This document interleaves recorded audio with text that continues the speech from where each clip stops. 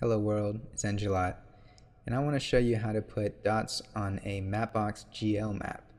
So if you're not familiar, Mapbox GL is a new library, a relatively new library from Mapbox that uses WebGL that, um, to render web maps, and it's got this buttery smooth zooming, uh, this crazy rotating if you hold control and drag, um, and it, it uses vector tiles behind the scenes, which has all kinds of benefits um, that we'll go over probably in another video.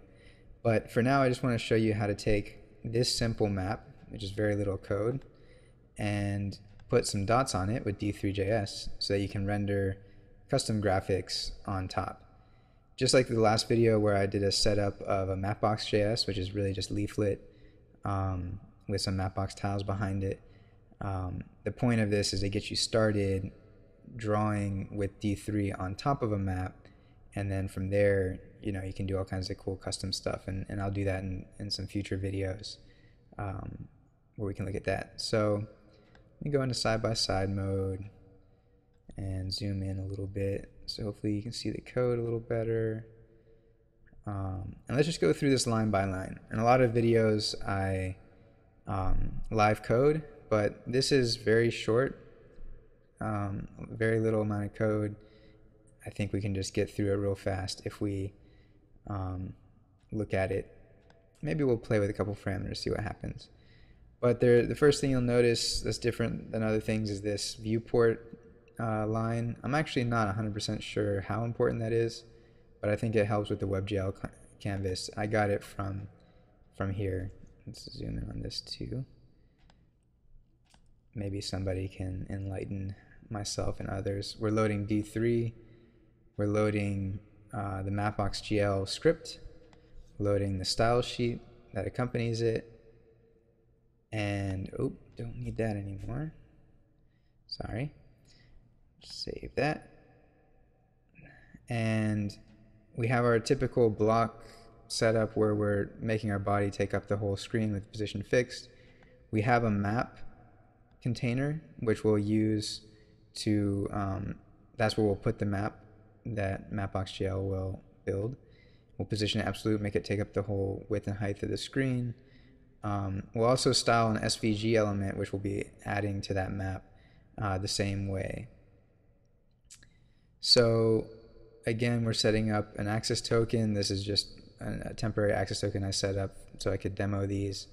Uh, you should probably just set up your own at mapbox.com pretty easy. And here we're actually setting up the map. So we tell it the container. So this is the ID of the div map right here. We give it a style. This is a style that I put together on mapbox.com studio, which is just a really easy interactive point and click. I turned off a bunch of the text. I changed some of the colors just a little bit just to see what it was like. Uh, I recommend you play around with it as well. Um, and then we have the center of the map, which is longitude and latitude, which you might notice is opposite of the Mapbox.js or leaflet way of, of doing things. So there's actually um, several different web mapping tools will do uh, switch them back and forth.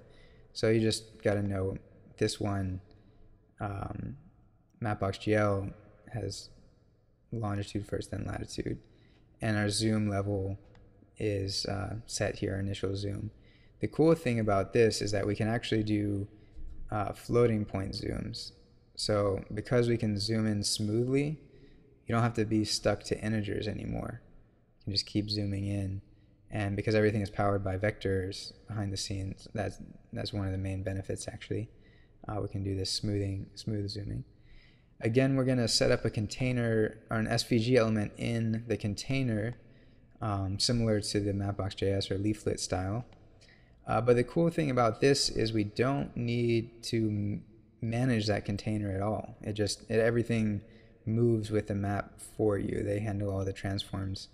Um, so that's really nice.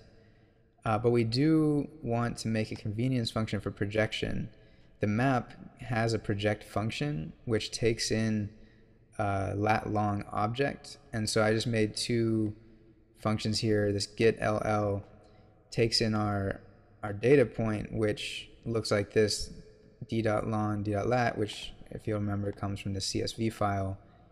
Um, so they're parsed out into um,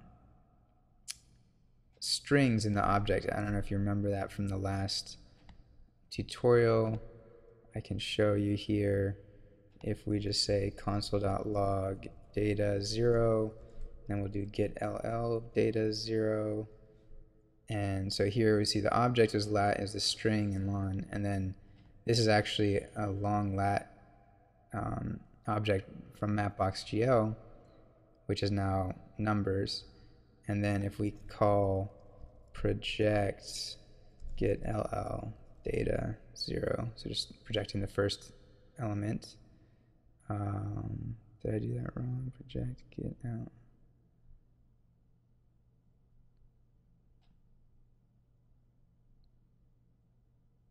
Oh, right.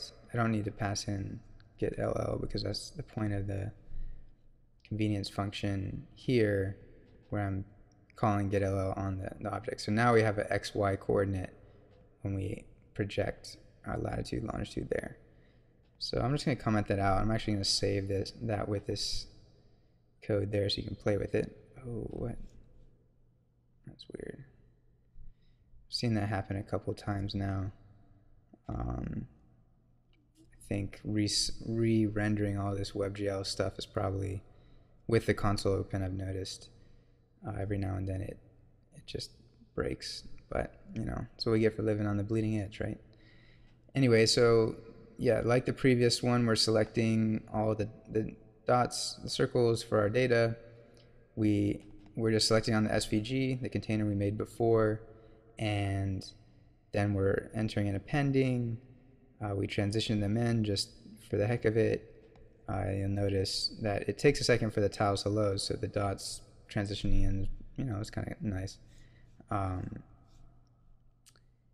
and then we have our render function, which will reproject. And I had I was debugging this as I was figuring out. I'll leave, leave those, um, so you can play with it. But uh, our render function will be called whenever the map moves or the zoom is reset. So that way as we zoom, our circles get properly reprojected.